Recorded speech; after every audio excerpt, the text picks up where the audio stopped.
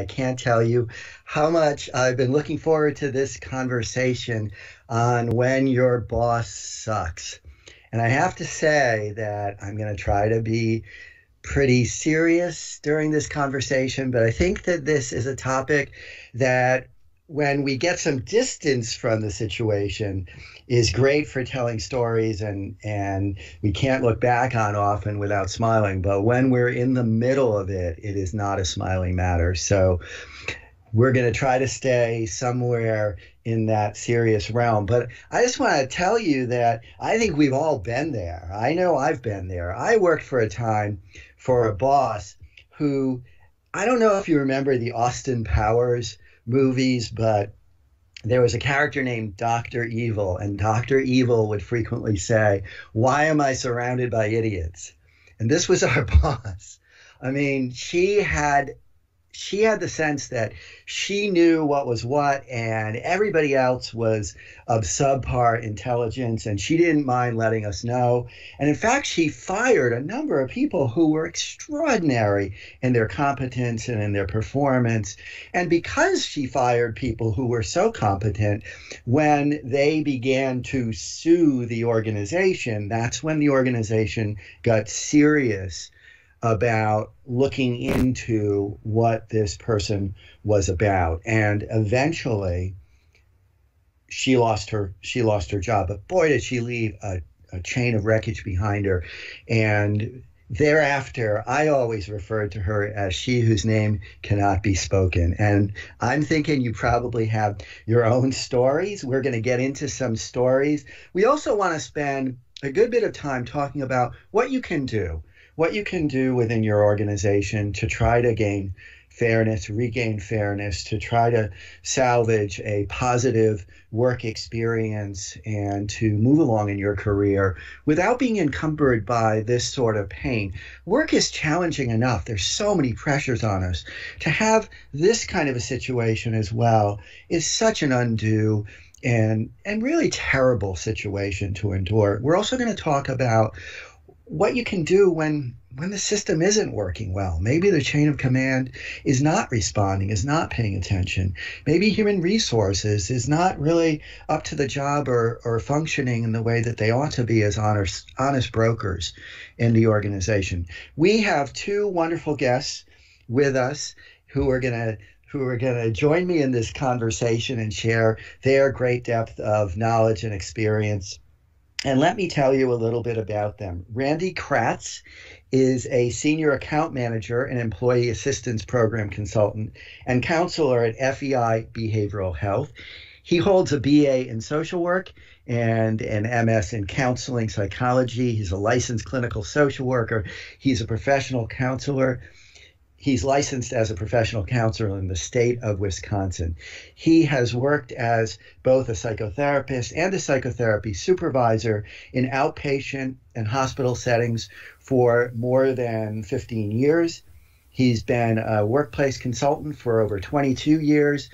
He helps employers and employees with traumatic stress, with conflict management, with organizational change, with substance abuse, with issues of work life balance, and all kinds of other challenges that are relevant to the resiliency of people in the organizations in which we work. And he is known for his storytelling ability, which you'll see in our conversation. He presents regularly at conferences and facilitates workshops across the United States. Also with us is Mike McCafferty. Mike is an MSW. He holds his master's in social work and he is credentialed as a professional in human resources. He has his PHR for short. He's a coach and consultant who partners with leaders and teams and individuals, motivating them to move from being disengaged to engaged and from being immersed in their difficulties and the problem to creating solutions together. Since receiving his master's degree from the University of Wisconsin, Milwaukee in 1997, he's been providing consultation and training and counseling and EAP services to organizations across the spectrum of size and industry and has been working with a diverse background that he brings, I should say, to his work a diverse background that includes experience in healthcare and human resources and construction. He has a long track record and personal commitment to helping organizations create and forward the conditions for change. These two gentlemen are with FEI Behavioral Health, and their website is www.feinet.com. Welcome, gentlemen, to Work Life Confidential. Thank you, and thanks very much. Great to have you here. And let me ask you, Mike, let me start with you. Why does almost everybody have a boss from hell story? What is going on here? Well, that's a that's a great question, Ken. I think the the sad truth is that there there are a lot of bad bosses out there. And I think there are a lot of reasons for that. Some in some cases I think those bad bosses or what people experience as bad bosses are are completely oblivious. They're just people who maybe have never had it brought to their attention that they're making things difficult or unmanageable for their employees. But in other cases, I think you have some individuals who gravitate towards positions of power and authority who do so maybe for less than uh, noble reasons, and uh, maybe it's that power that draws them in. So I, I think there are a lot of reasons. Uh, so as many as as many reasons as there are bad bosses, probably. I I would agree, and I have in front of me a book that I think everybody deserves to read. It's called The Sociopath Next Door, and it's written by Martha Stout, S T O U T, and she one of the excerpts, which is on the cover, is one in 25 ordinary Americans secretly has no conscience and can do anything at all without feeling guilty. And I agree that there are some people, some of those one in 25, who gravitate toward quote unquote leadership roles. And unfortunately, they tend to rise within many work organizations. So, Randy, Mike said that sometimes people who are in this situation, they they're just oblivious. They're oblivious to the fact that maybe they're they're absent and they're not supportive, or maybe they're doing things that are actually extremely hurtful to the people who they have responsibility for leading. What what do you think can be done about that? So they're completely clueless who should be doing something about it? Why aren't they doing something about it? Yeah, that's a good question. I, I think, you know, to answer the first part first, why is that I believe they have something that's a value added to the organization. So that's why they often, you know, management above them often look the other way because they bring something valuable. This might be why they were promoted. So oftentimes they get promoted out of their skill set. And what I mean by that is is that their ability to to demonstrate self-awareness or other awareness or what we might call emotional intelligence is pretty limited.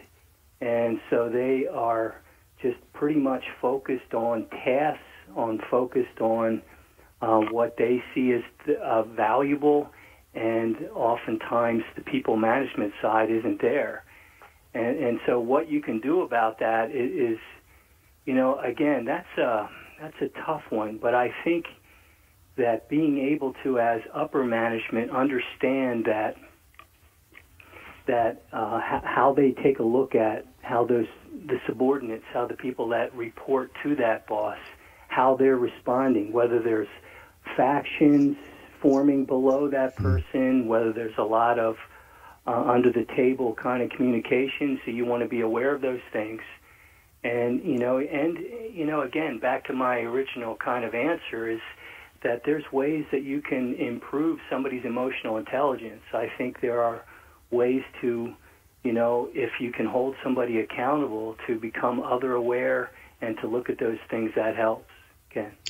Well, I, I think that there, there's so much in, in what you're saying, and it reminds me of a conversation that I have had with a colleague over the course of a few exchanges of emails. And he wrote to me and he said, I'm beginning to work with an organization, and what they're seeing is that they have people who are strong performers, and the only way to move them up in the organization is to give them people management roles. So they do that. They do that, and then they find that they have the kinds of problems that we're talking about. And I have to tell you, one of the things I said to my colleague is, well, this is this is one of the most common issues that any leadership or organizational consultant deals with, any HR professional deals with. I was also struck with how clearly they stated it, that they caught that they're doing it. It's that whole idea of we promote people to the level of their lack of skill, or to put it more crassly, to the point of their incompetence, or even the Peter Principle, I've heard it called and it just seems to happen over and over and over again. And and and then there's this whole group of people who are reporting to this individual who maybe never even wanted to be in a role where they were expected to be the role model for the the formal role model for the group. And the person who motivates others and communicates the mission of the organization to their group and who provides constructive and supportive guidance balanced with accountability. Those are all skills. And it seems to me that there, there, there are so many organizations that do exactly what you're talking about, that they just sort of slot people in. And then I want to, and then they and then they don't watch. They don't watch the climate. They don't watch the culture in that group from the highest levels. And so they don't really have any idea of the pulse of what's happening as you were describing. Uh, well, so I think there's that. Mm-hmm. I was just going to say, and that just, and, and one of the reasons they don't see it or notice it is because that very employee, that boss, is very effective at managing up. Yep. So yep. they provide the kind of um, story to their boss that they want their boss to know.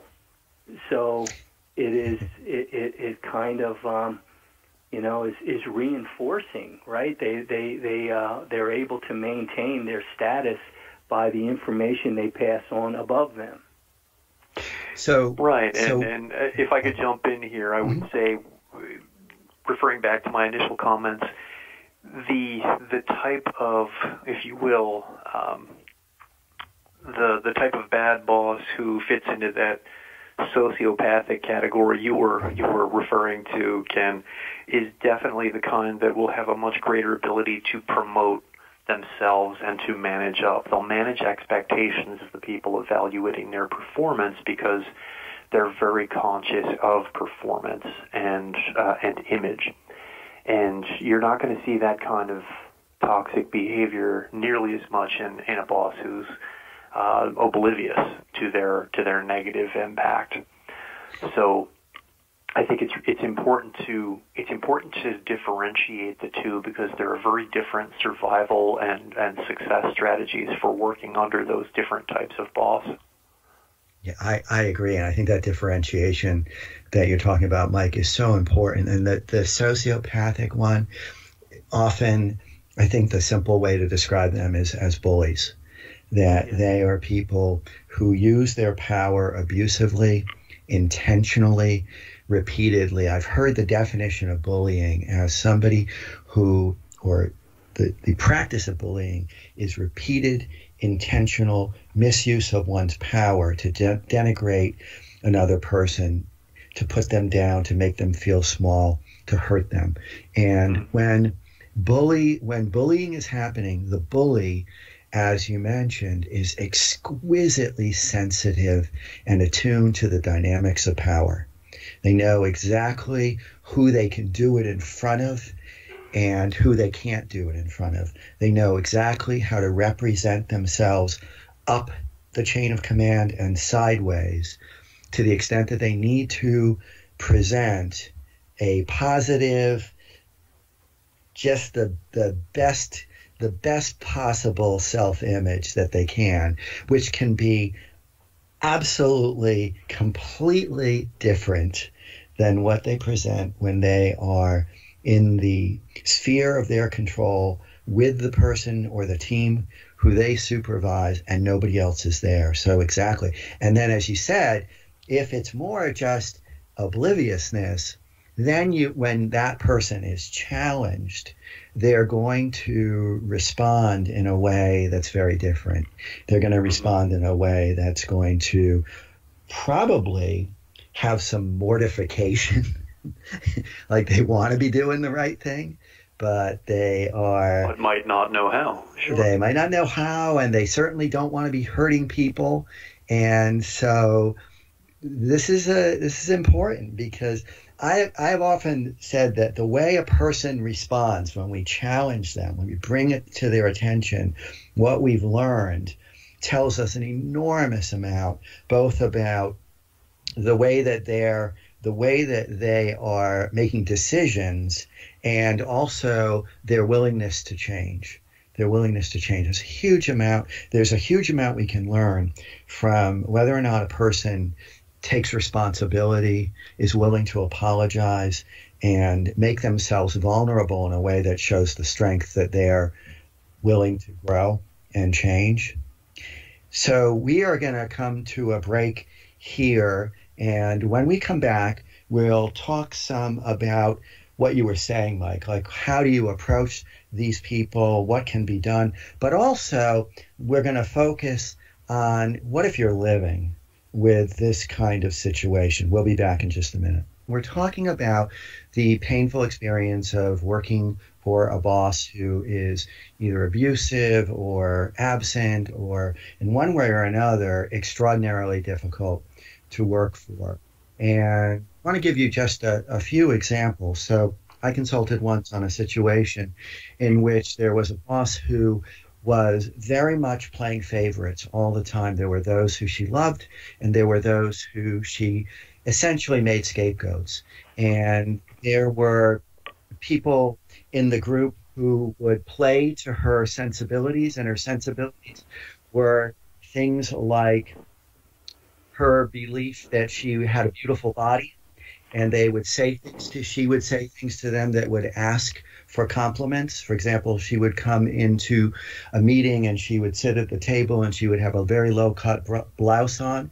And she would ask the male members of the group who were in her favor what do you think? And they would say the girls look great today and referring to her breasts and others who were present would feel like this was grossly inappropriate.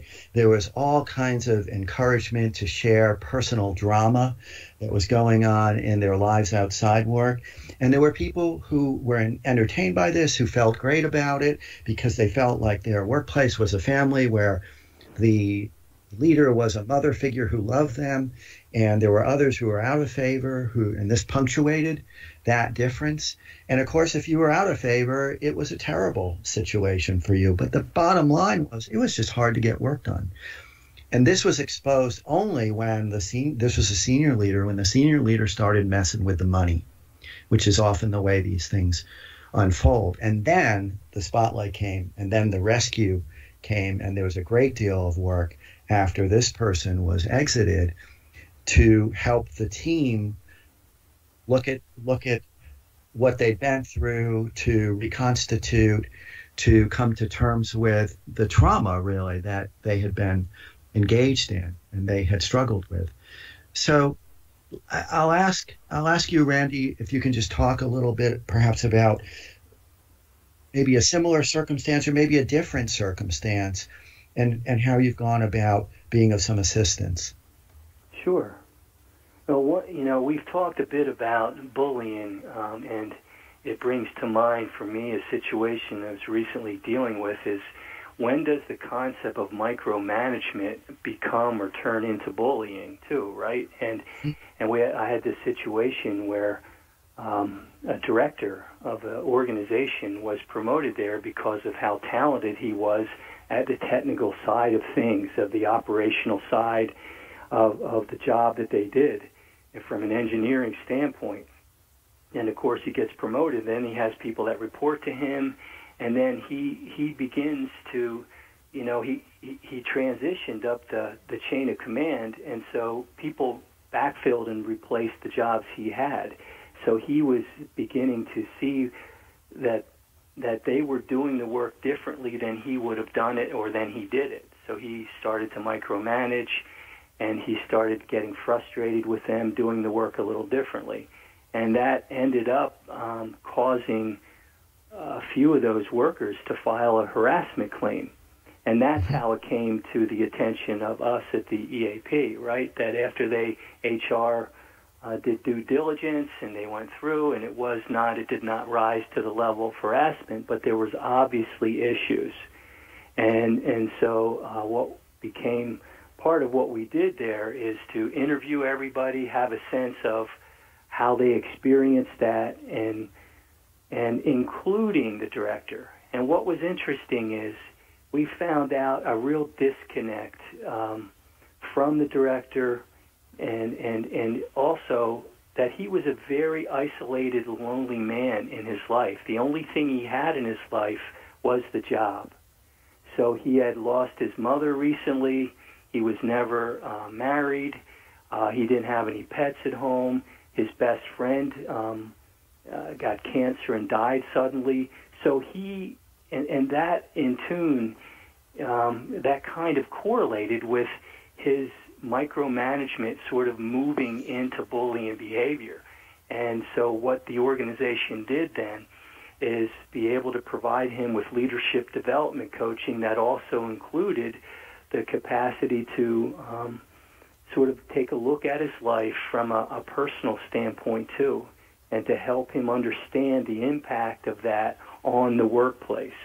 And that became a really um, useful process. And ironically, and I was I was working with him, and ironically, he he decided that he made so much of his life outside of work that he decided to retire early and leave. And that's how that ended up. And so it's like you're working and providing resources to help develop him, and then he realizes he wants more out of life than this anyway. And, and so that's how that one went.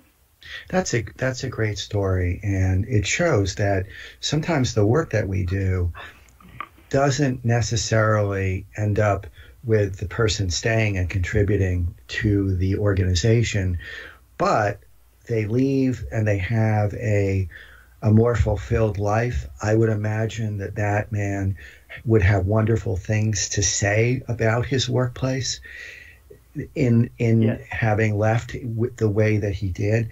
And the other thing that strikes me about that story is that that's one of those situations, as Mike was talking about, where the person doesn't intend to be hurtful, doesn't intend to make life difficult for others, but isn't able to observe himself accurately and make adjustments, doesn't have the kind of emotional intelligence that was mentioned earlier.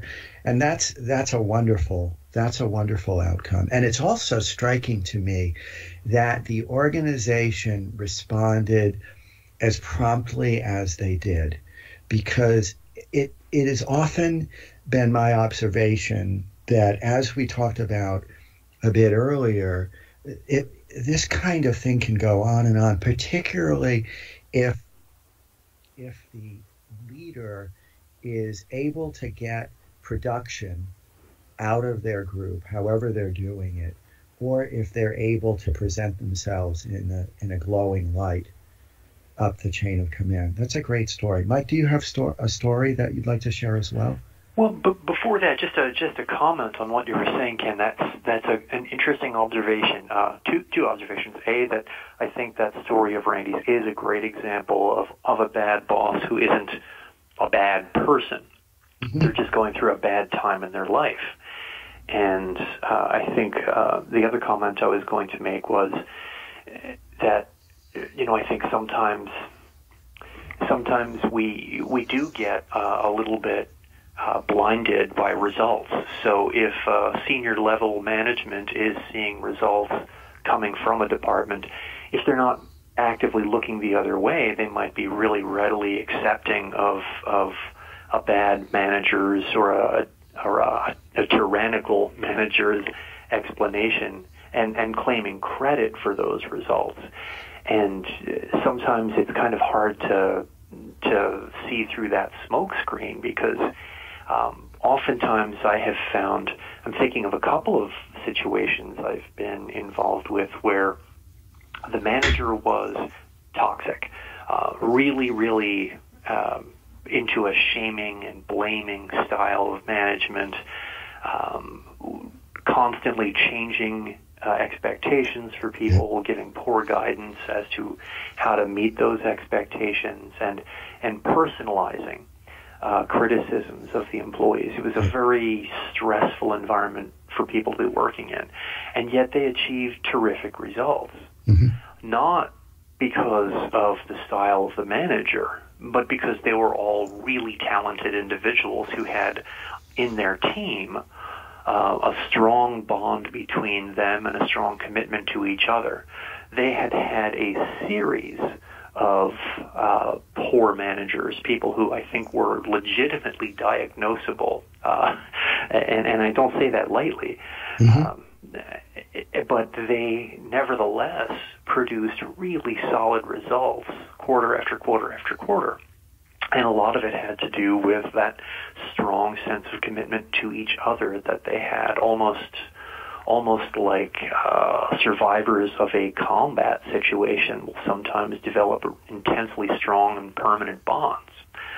So it, it, it was really interesting in, in that particular case that I'm thinking of to to see that despite the, the toxicity of that manager, the the employees were still able to thrive from um, from a perspective of their output. Now, on a personal level, and this is why I, I got involved with them from an EAP sense, it was because multiple employees were having stress related complaints, um, which were starting to show up as physical illnesses, physical ailments. Some of them had uh, started to develop relationship problems and uh, some substance abuse issues as well. So the results were fine, and unfortunately, the organization didn't didn't really think to look past that level, uh, maybe skip a level and, and talk to people. So how are things doing? You know, how how are things going with your boss? It's it's it's very interesting the stuff you're saying. I, I've seen the same kind of pattern, and when I see that kind of of team, I always ask myself, can you imagine what they'd be able to do if they had positive facilitative leadership, if they weren't yeah. being stressed the way they are. And as you and you describe that so well that what's happening is the workplace is eroding their health and eventually it will erode their performance as well. It's probably limiting their performance to some extent because if they had a different kind of leadership, they might reach an even higher level. But it really points to the idea the reality that the workplace, the culture, and the way I see it, your immediate supervisor is your culture. They embody the culture of the team. That that culture is either helping people be more healthy or it is challenging their health. It's not neutral. And there are all kinds of correlates to individual health for the organization that that result ultimately in productivity. The, that the, the health of the organization through its individuals correlates to the business results. And of course, it also correlates to costs, things like the incidence of disability, the duration of disability, the incidence of going to the emergency room. All these kinds of things are to some extent dependent on the culture of the group, and that culture is created and promoted largely, not entirely as you're describing, not entirely, but largely by the leadership. The leadership has an enormous role to play. And the other observation that I'd like to emphasize in what you said is that many, when there's abuse or neglect going on in the organization, what I've seen is generally there's a systemic reason for that. It's not just that supervisor. It's, as you said, it's either the supervisor above is not watching and not doing those skip step conversations down into that particular supervisor's direct reports, or that supervisor is in fact modeling the same kind of behavior, and so it's it's cascading. And one of the things I'll say to leaders when when there's this kind of trouble going on in their group, because I've worked with leaders who are hesitant to make changes because the productivity is strong. And what I'll say to them is, you know, everything that happens in your chain of command, in your chain of authority, reflects upon you.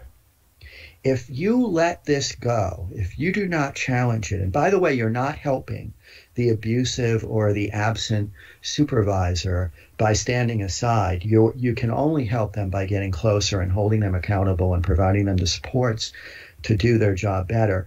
You are now looking weak ineffective, abusive yourself, there is no neutral ground here for you as the next level leader. And that sometimes c- comes as news, but it's very, very important in my experience to help the next level understand this reflects on you as much, if not more, than it reflects on the immediate supervisor. And do you want this to be the way you're perceived?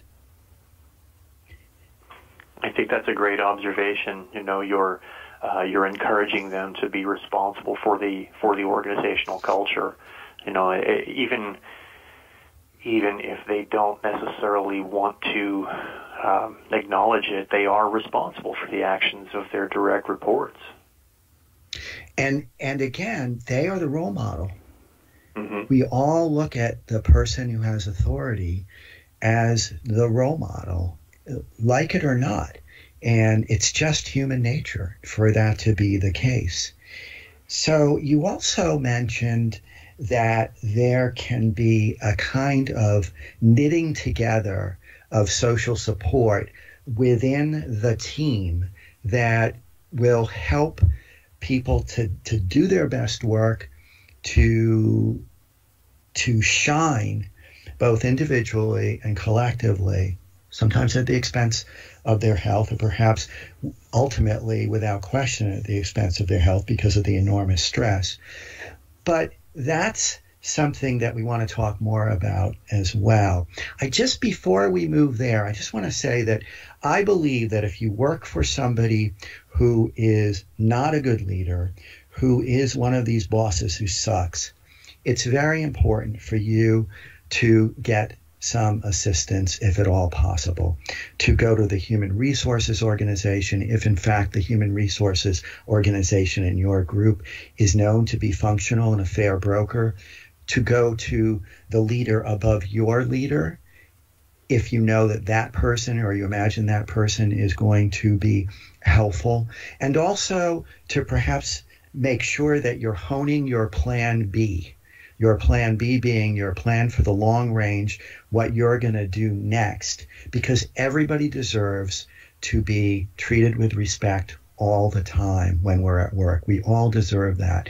So if you're feeling stuck, please get some help. And that may be that you're going to get help starting with your EAP professionals or a counselor through your medical program. We'll be back in just a couple of minutes to talk about how to survive in the context of this kind of situation. Stay with us. We're talking about living with, working with a terrible boss.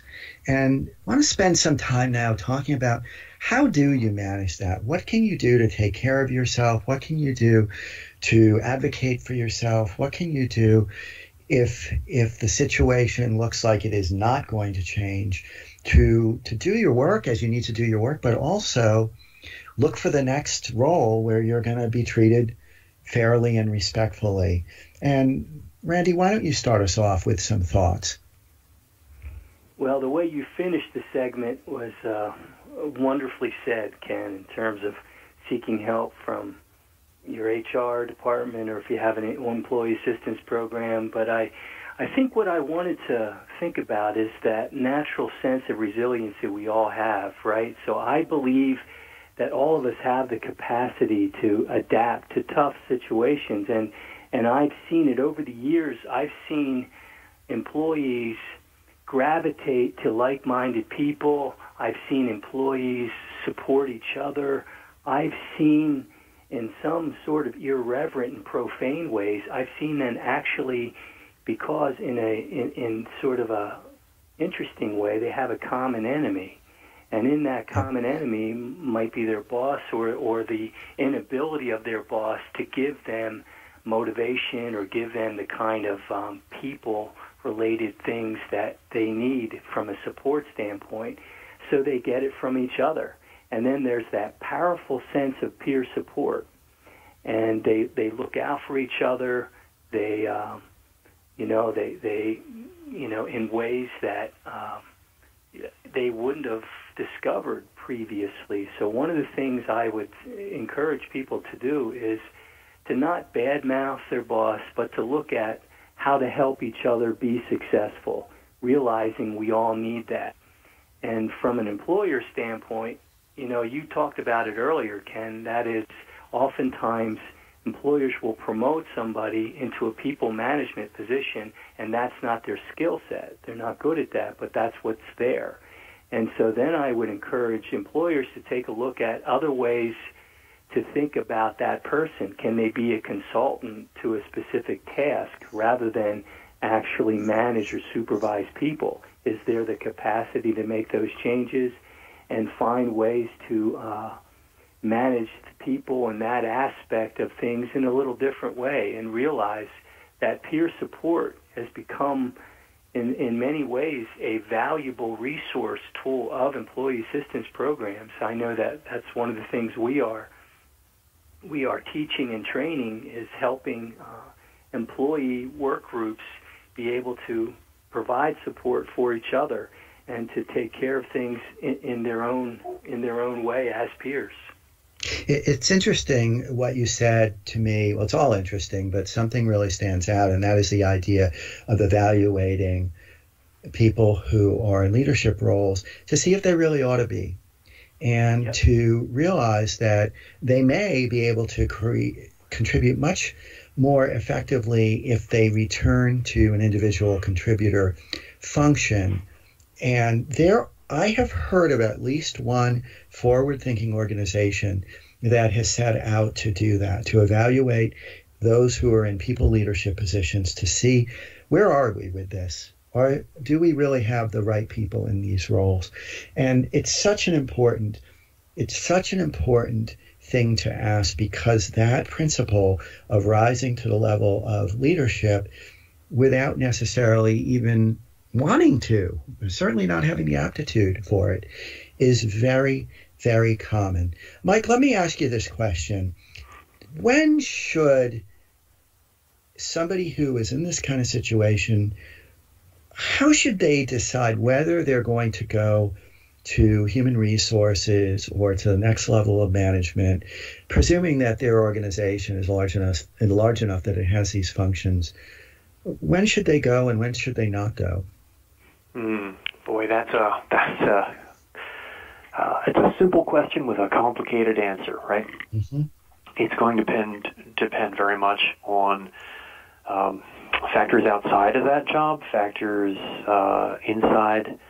Um, it's going to depend on the structure. I'll, I'll I'll probably start with that. You said at the uh, the end of our last segment, if you will, that uh, if you have a human resource department that is a credible and legitimate resource, it, if it is actually a source of assistance and guidance, um, that I think can be uh, an argument in favor of approaching them for assistance. Now, I think unfortunately we all have had the experience of and are familiar with human resource departments, which are very clearly uh, in the corner of an employer and and thinking about nothing but protecting that employer from um, you know liability and protecting uh, you know trying to limit losses and things like that, which again would be uh, something that they could be looking at in a situation like this. But for the time being, we'll just leave it at for the individual to decide whether or not to approach them. What's their experience been with that HR team or that HR department? Do do they answer questions when asked? Do they seem like they're an advocate for employees? do they keep confidences when it is appropriate for them to do so? Can they be trusted? In other words, trust is huge. Uh, if the other factors that I that I mentioned, you have to decide: Are you in a place where you can uh, potentially afford to not be working for a while? If you absolutely have to to decide, okay, I can't continue in this situation, and I've gone to HR, they've done nothing. In fact, it's gotten worse. Now, what do I do? So I've spoken with people who have, um, they've done the math and they've decided, okay, I, I can't leave now, but I will be eligible to retire at a certain level uh, in 18 months, and now I have to figure out what is my short-term survival strategy. Uh, so that really reverts back now more to self-care what do I do to manage my stress? What do I do to take care of myself physically, emotionally, mentally? And uh, unfortunately for the organization, um, the employee probably isn't going to, to advertise that that's their motivation. So if the organization really isn't doing that, that due diligence to find out how people are doing, they might have employees who are in that uh, survival mode and they're really not getting their their discretionary effort. They're not getting their best effort. They're not getting anything besides compliance. So, so uh, I guess to to get back to your initial question there, there's a lot of factors that go into that. I would say you have to decide each. You have to decide that very much for yourself, depending on your own situation, uh, your family situation, your financial situation, and the availability of other options that you might have. I, I, I like all that you're saying, and I'm going to emphasize something, and that is that it's my belief, and it's the way I work with people from a from a holistic appreciation of their lives to always say, look, where are you financially? Where are you in terms of your financial security and your planning? And and this is so very important to peace of mind and to the opportunity to see that you are not trapped, that you are not trapped in your current situation. And so it's very important, I think, as an expansion on that, for people to have a plan. For people to to see themselves not as I'm in this job and and that's it. But I'm in this job, and where does this job fit in in my longer range plan? Where do I want to go next, perhaps? What skills do I want to develop? What is my long term goal for where I want to be in my career? Because if we can, if we can be constantly working toward that next thing, and, I, and when I say working toward it, I mean having a, a very clearly stated sense of what you want for your next role and where you want to be in five years from now. And having your resume up to date, building your network of connections, having some one or two people who you consider mentors, taking classes to hone your skills and develop new ones. I believe if you're doing all of those things, we're going to be able to deal with these kinds of situations because we know that this is this is now but it's not forever. Does that make sense? Totally. Absolutely. Absolutely. I think that's a really good reality check for people to to have. I think um, it is it is when people feel trapped that they are most vulnerable. And that and that can so easily happen. That can so easily happen. So, what are some? If you could leave just a couple of thoughts with our listeners, what thoughts would you like to to leave with them as we pull this conversation to a close? Um, well, I guess I would say that sometimes it's it's not feasible or you can't make a change from your workplace now. So if you realize what you have control over and what you don't. And so what I would say is when you're at work, you may not have control over much of what you do in terms of um, your boss.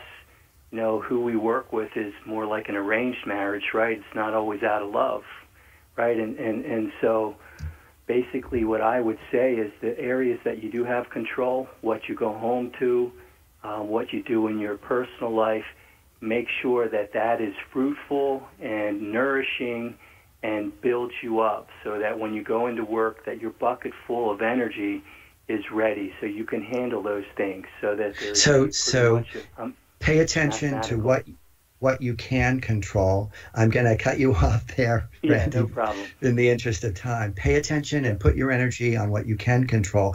Mike, 30 seconds. Uh, nothing is forever. So if you have a bad boss, um, just remember that this is not the only boss you will ever have unless you decide the next step is to be your own boss. Then if you have a bad boss, it's a whole different conversation. that's that's great. And when we are stressed to the max, when we're overloaded, we tend to feel like we are paralyzed in a moment that will be eternity, and it isn't. It isn't. So I want to thank you both very very much for being here and sharing your knowledge and your and your experiences. I want to encourage our listeners to think about the resources that are available. And if you're lucky enough to have FEI as your EAP provider or you have another EAP provider and you are caught in this situation, please reach out for their help. It'll be a confidential conversation, assuredly, and that can be the starting place for taking stock of how you're doing, looking at your options and deciding from there where you're going to go with this, where you're going to go next, because it's in taking some action that you're going to feel freed from some of the eh, extremity of the pressure and the stress. You're going to see that you can do something, and that is the beginning of of a bit of healing. So we are we are again privileged to have Mike Kratz and Randy. Um, I'm reversing you guys. Randy Kratz and Mike McCafferty from FEI here. Their website is www.feinet.com. Mr. Rogers said, if it's mentionable, it's manageable. And that's what we're here for. We're here to continue to break silences, talk about the important stuff that too frequently goes without being said, and find solutions together so that we can move forward with more clarity and calm and safety and good health. Join me next week where I will have Nancy Saxton Lopez, who is a dear friend of mine and my co author on the book, The Pet Loss Companion. We are going to be talking about pet loss and healing from loss in general. I'm Ken Dolan Del Vecchio. You've been listening to Work Life Confidential. I'd like to thank our executive producer, Randall Libero, and our engineer, Josh. And thank you so much for being with us. We'll look forward to another conversation next week.